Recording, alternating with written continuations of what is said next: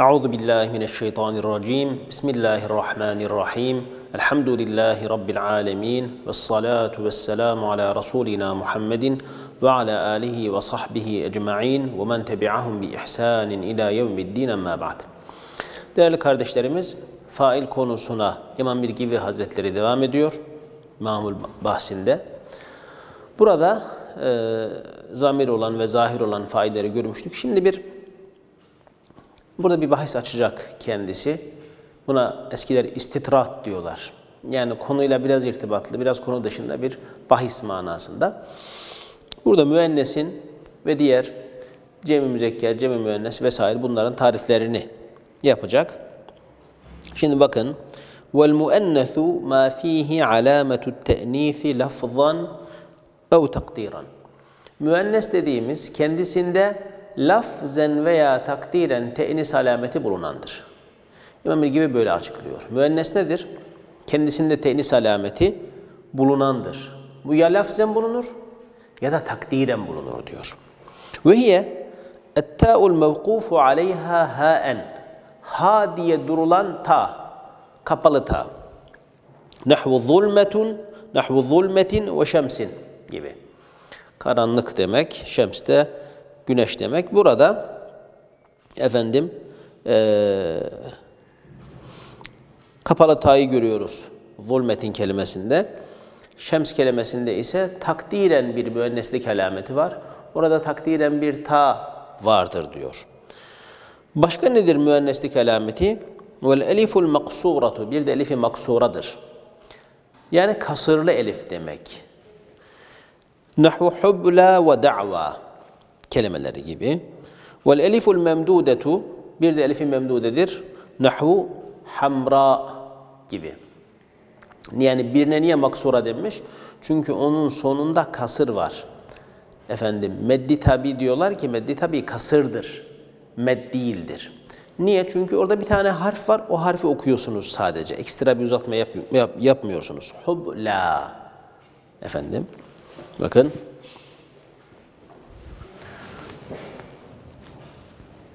Hubla derken böyle. Mesela el asa desem tabi müenneslik alameti değildir ama netice itibariyle el asa kelimesinin sonunda da ne var? Bir elif var. Ne, nasıl elif bu? Elifi maksura.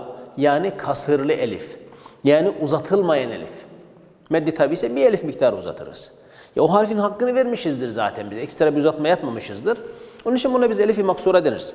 Şunu yanlış anlamayalım yani ya şeklinde yazılan elif elifi maksure diyor değiliz. Med yapılmayan hamra'u gibi med yapılmayan hubla, da'va, el-asa bu tür kelimelerin sonundaki eliflere elifi maksura diyoruz. Sebebi de kasırlı olması çünkü bu tabii bir mettir. Tabii bir uzatmadır, ekstra bir uzatma değildir. Elif-i memdude ise ha bu işte uzatılan elif. Orada bir elif var ama sonuna sebebi metten hemze geldiği için ekstra bir uzatmaya tabi tutuluyor. Ondan da biz ona elifi memdude diyoruz. Evet. Gerek, gerek elifi maksura, gerek, gerekse elifi memdude, tay marbuta gibi, kapalı ta gibi bir müenneslik alametidir. Müenneslik alametlerini saydı. Demek ki bir kelimede lafzen müenneslik alametlerinden birisi, üç alametten birisi bulunursa, veya bu alamet takdiren bulunursa bu kelimeye iman bir gibi müennes diyor. Ve hâzâ fî gayri thelâthete ilâ aşrate. Evet, bu da 3 ile 3 ila 10'un dışındadır. 3 ila 10'un dışındadır. 3'ten 10'a kadar olan sayılarının dışındadır. Ee, efendim, bu sayılarda ters olur.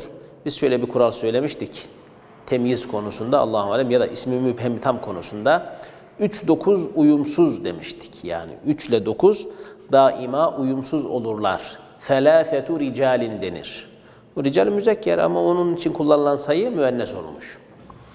Efendim 10 ile alakalı ne demiştik? Ten kurtul gafletten diye. Yani 10 10 sayısı, aşra sayısı tek başına olduğu zaman bir gaflette olur, uyumsuz olur. Ama 11, 12, 13, 14 gibi bir şeyle bitiştiği zaman, bir terkipte olduğu zaman artık gafletten kurtulmuştur. Uyumlu hale gelmiştir. Dolayısıyla bu alamet meselesi sayılarda 3 ila 9 sayılarında her zaman 10 sayısında da tek başına olduğunda terstir. Müzekkeri ta'lı, müennesi ta'sızdır. Evet. Ne diyor bakın? Fe inne müzekkeraha bit ta'i onun müzekkeri ta iledir. Ve müenneseha bi hazfiha müennesi de onun hazfiyledir. Nahvu thalâthetu ricalin ve erba'u gibi. Ve izâ rukkibet thalâthetu ila aşra ila tis'ate 3 ila 9 sayıları yani 3'ten 9'a kadar olan sayılar ma'a aşrate 10 ile terkibe girdikleri zaman üthbitetit ta'u fil evveli birincisinde ta ispat edilir. E, efendim sabit kılınır. E, Üthbitetit ta'u fil evveli fakat fil müzekker. Müzekkerde sadece birincisinde ta sabit kılınır. ikincisinde ta sabit kılınmaz. Ta olmaz. Yani 10 sayısı işte demiştik ya gafletten kurtuldu artık o uyumlu hale geldi. Nahvu 13 raculen. 13 raculen. Ve fi thani fakat fil müennes. Müenneste ise sadece ikincisinde ta var kılınır. Nahvu thelâse aşrate imraeten. Peki bunu ifade etmiş olduk. Ve te'nîthül hakîkiyyü. Peki bu müennesliğin İmam Birgivi'ye göre iki kısmı var. Ne o?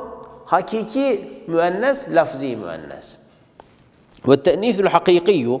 Hakiki te'nis ma bi izâihi zekerun minel hayvan. Karşısında canlılardan erkeği bulunandır.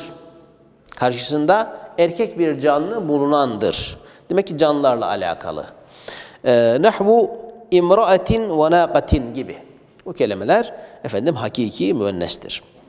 Lafziyyu lafzi te'nis, lafzi müennes ise bi hilafihi onun aksinedir. Karşısında, mukabilinde e, efendim erkek bir canlı bulunmayandır. Nahvu gurfetin ve şemsin.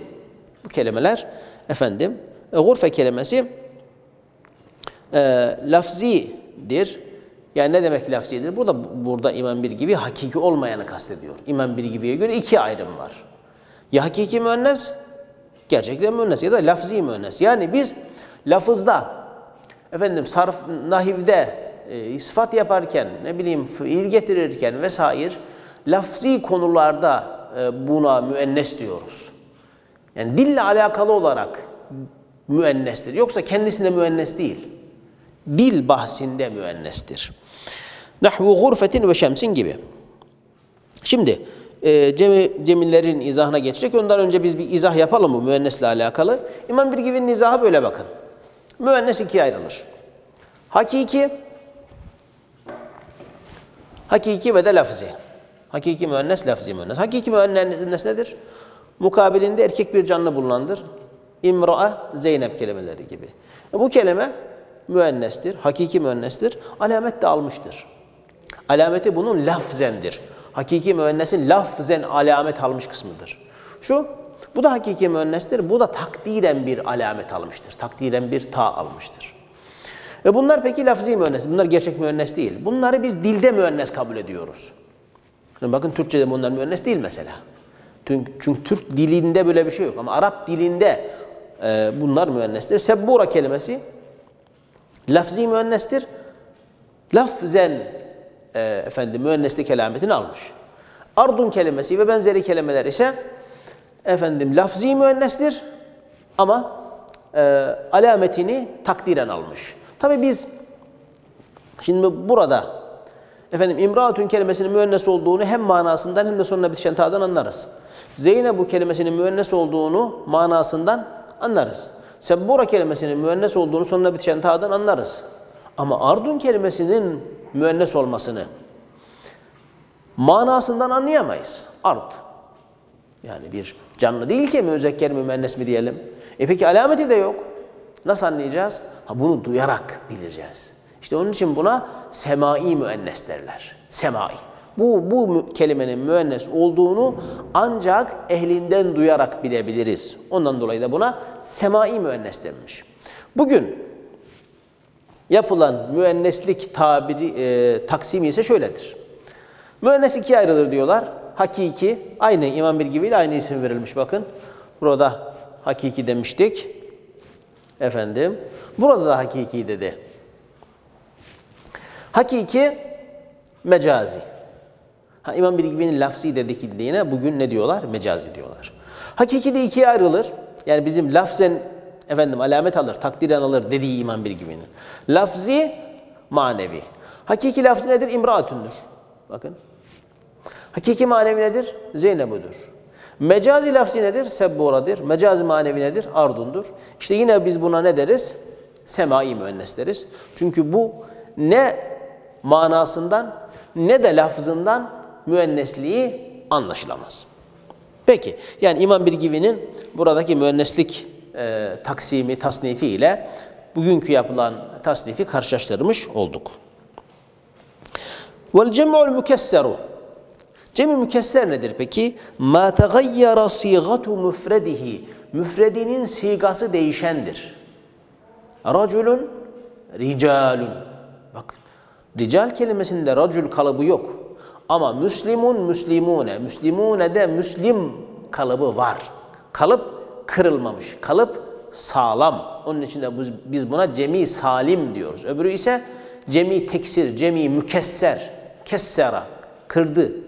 Mükesser, kırılmış demek. Evet cemi mükesserlerde bir semailik vardır. Yani bir kelimenin cemi mükesserinin ne olduğu semaidir. Ama cemi mükessere bu ismin verilmesinin sebebi efendim buradaki e, semailik değildir. Ya nedir? Kalıbın kırılmış olmasıdır. Peki. Ve cem'ul muzekkeris salimu. Cem'ul muzekkeris salimu. Cem müzekker salim nedir? Ma lehiqa ahira müfradihi vavun matmumun ma qablaha müfredinin sonuna ma kabli dammeli bir vav.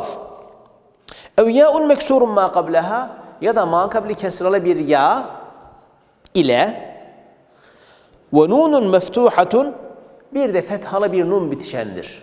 Tabi fethalı bir nun bitişendir nerede? Fi gayril idafeti. İzafet dışında. Yani Müslimune makabli Müslim kelimesinin sonuna ne bitişmiş? Makabli dammeli bir vav bitişmiş. Müslimune. E peki Müslimine bunun sonuna ne bitişmiş? Makabli kesralı bir ya bitişmiş. Efendim, e peki Müslimu Türkiye desem Türkiye'nin Müslümanları ne olacak? Sondaki nun hasf olacak izafetten dolayı. Fe innen nune tuhzefu fiha nun o izafette hasfolunur. Nahvu muslimune ve muslimine. Muslimu Türkiye ve muslimi Türkiye cümledeki yerine göre. Ve cem'ul müennesi salimu Ha, cem müennes salim açıklayacak. Şunu söyleyelim. Cemi müzekkeri salim kalıbı akil varlıklar için kullanılır. Cem-i müzekker salim kalıbı akil varlıklar için kullanılır. Yani biz tutup kalem kelimesinin çoğunda, çoğulunda kalemune diyemeyiz. Kur'an-ı Kerim'de mesela Estaizu billah Elhamdülillahi Rabbil alemin diyor değil mi? Fatiha suresinde. Alemlerin Rabbi olan Allah'a hamdolsun. O el alemin kelimesini açıklarken diyorlar ki bütün alem, alemlerin hepsi akil varlık değildir. Acaba neden burada avalim diye bir cemi teksir kullanmamış da alemin demiş. Ee, çünkü diyor burada bir talip vardır. Alemlerin çoğu akıllıdır. İnsan taifesi, cin taifesi vesaire. Bunlar hep akıllı olduğu için onlar e, talip e, kabilinden yani onları dikkate alarak, çoğunluğu dikkate alarak onları ön plana çıkararak böyle denmiştir diyorlar. Ya da diyorlar ki evet alem e, akıllı olmayabilir ama işte bu alem adeta bir akıllı insan gibi bize bir şeyler anlatır. Allah'ın varlığını bize anlatır. Onlar akıllı gibi düşünülmüştür. Burada belagı bir incelik vardır diyerek açıklıyorlar. Yani bir e, bir, tefsir e, dersinde şöyle bir şey işitmiştik. Böyle bir e, efendim tefsir dersi e, kayıtlarında diyor ki mesela ve yatufu aleyhim vildanun muhalledun diyor o dersi yapan efendim onların etrafında ebedi kalıcı gençler dolaşırlar diyor. Ebedi kalıcı gençler dolaşıyor. Diyor ki o tefsiri yapan efendim diyor buradaki vildanun kelimesi gençlik demektir. Hani gençler dolaşır, bir takım insanlar yanlış manalar çıkarıyorlar buradan diye kendince bir tevil yapmaya çalışıyor. Gençlik dolaşır diyor yani. Ebedi gençlik dolaşır yani genç olurlar demek. Ama o zaman onun şunu da izah etmesi beklenir. Peki gençlik ise bu bir mastarsa değil mi? O zaman neden muhalledune demiş de muhalled, muhalledun ya da muhalledetun her neyse dememiş. Yani neden Cem Müzekker Salim kalıbı kullanmış? E bunun izahı zor. Bunun izahı zor. Cem Müzekker Salim varsa orada ya akil varlıklar vardır ya da belage bir incelikle o varlıklar akil varlık gibi düşünülmüştür. Peki. Cem Müzekker Salim ile alakalı bu izahı yapmış olduk. Ve cem'ul müennesi salimu, cem müennes salim ise ma lehiqa ahira müfredihi elifun ve ta'un. Müfredinin sonuna elif ve ta bitişendir. Nahvu muslimat kelimesi gibi. Efendim bakın müfret kelime müslim sonuna elif ve ta bitişmiş. Bu da cem salim.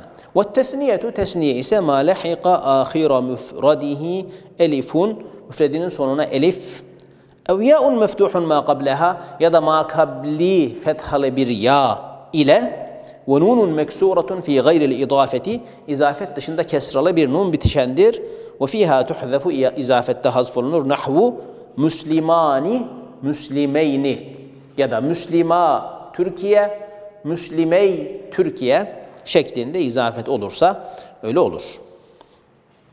Şimdi buradaki bahse gelelim. Bu cemi e, cemilerin gerek fiillere isnat edilmesi yok estağfurullah fiillerin bu cemilere isnat edilmesi veyahut da fiillerin bu cemilerin zamirine isnat edilmesi bahsinde neler olur, nasıl olur onu bize izah edecek. Bakın ne diyor?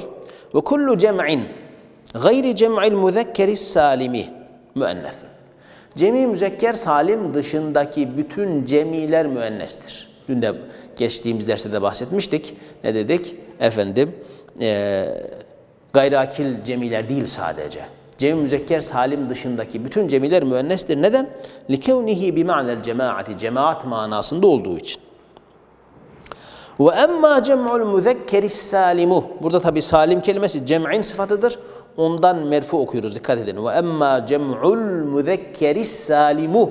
Diyoruz da salimi demiyoruz. Yani müzekkerin sıfatı değil. Müzekkerin salim cemiyi. Cem'ul müzekkeri salimu. Cem müzekker salime gelince feyecibu tev, feyecibu tezkiru amilihi. Amilinin müzekker olması gerekir. Niye? Çünkü bu bunda müenneslik yoktur. Fetekulu ca'el muslimune ev raculun qa'idun nasiruhu. Müslümanlar geldi. İşte yardım edenlere oturan adam geldi derken burada kaidun kelimesi tabi ismi fail olarak kullanmış. İsmi fail de kullanılsa yine fiil gibidir. Fiilimsiye de misal vermiş. Şibih de misal vermiş oluyor. Ve izâ üsnede ila damirihi zamirine isnad edilirse yecibu kevnuhu cem'an müzekkeran o zaman buradaki amilin, buradaki fiilin ya da fiilimsinin cemi müzekker olması gerekir. Nahvu el muslimune ca'u ev yeci'une ev ca'une gibi. Müslümanlar geldiler, geliyorlar, gelenlerdir derken mazi fiil, muzari fiil ismi fail kullanmış. Bakın biz burada bunu kısaca söylemiş olduk. Bir fiille hasale, fiiliyle. Hasale ne demek? Var oldu demek. Umumi bir fiil. Hasalel müslimune deriz. Müennes kullanmayız. El müslimune efendim hasalu deriz. Burada başka bir şey kullanamayız. Yani fiil önde gelirse müfret müzekker gelir, sonunda gelirse cemi müzekker gelir. O kadar. Peki. Ve emma cem'ul müzekkeril mükesseru el-aqili cem'ul müzekkeril mükesserul aqili. Müzekkerin akıllı müzekkerin mükesser cemisine gelince yani cem kelimesi muzaf el müzekkeri muzafun leyh efendim el mükesser cem'a kelimesinin sıfatı olduğu için merfu el mükesseru el akil kelimesi de müzekkerin sıfatı olduğu için mecrur efendim el akili şeklinde. Ve emma cem'ul müzekkeril mükesserul akili. Cemi müzekkeri mükesseri akile gelince yani rical gibi kelimelere gelince İza üsnide ila damirihi zamirine isnat yapılırsa feyecibu en yekuna amiluhu müfreden müennesen ev cem'an müzekkeren. Amilinin müfred müennes veya cemi müzekker olması gerekir. Nahvu er ricalu caet ev ca'u ev caiyetun ev ca'une şeklinde. Er ricalu ne diyor? Caet. Niye caet diyor? Lafzına itibarlı. Çünkü bu müennestir lafzen. Peki niye ca'u diyor? Çünkü manasında bir cemi müzekkerlik var. Dolayısıyla da ca'u demiş. Ev caiyetun ev ca'une. Bu da ismi fail şeklinde kullanımı. Ve gayruhuma minel cumu. Bu ikisi dışındaki cemiler ama bütün cemiler. Cemi müzekker salim, cemi müzekkeri mükesseri akil dışındaki bütün cemiler. El müslimune el ricalu gibi olanların dışındaki cemilerin tamamı. İza üsnede ila damiriha. Bunlar zamirine isnat, bunların zamirine isnat yapılırsa Yecibu en yekuna amiluha müfreden müennesen amillerinin müfred müennes ev cem'an müennesen veya cemi müennes olması gerekir. Nahvu el müslimune caet ev ci'ne ev caiyetun ev caiyatun vel eşcaru kut'at ev kut'na ev maktu'atun ev maktu'atun şeklinde. Şimdi biz bunların hepsini birkaç misal daha e, koyarak burada anlatmış olalım. Bakın şimdi. El müslimune kelimesi cem müzekker salimdir.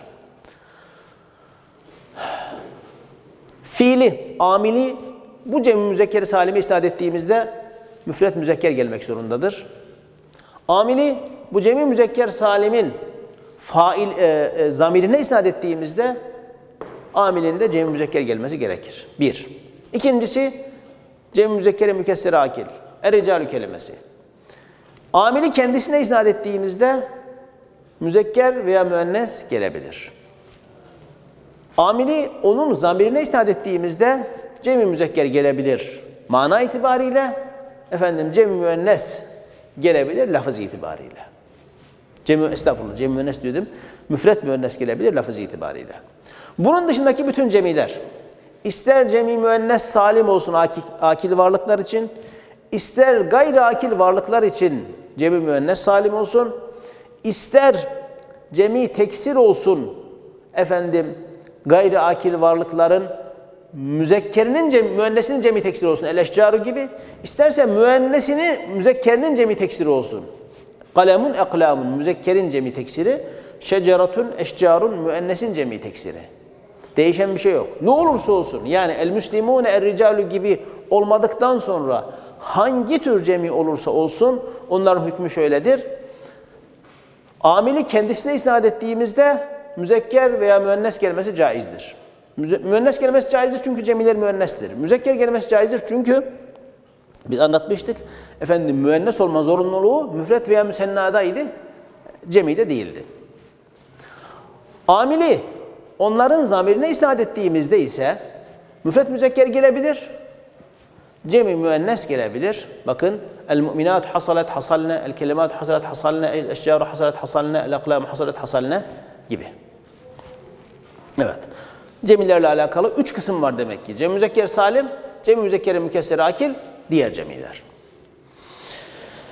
Peki, böylelikle efendim fail konusunu bitirmiş olduk. İnşallah müpteda konusundan devam ederiz. Allah'a emanet olunuz. Esselamu Aleyküm ve Rahmetullahi ve Berekatuhu.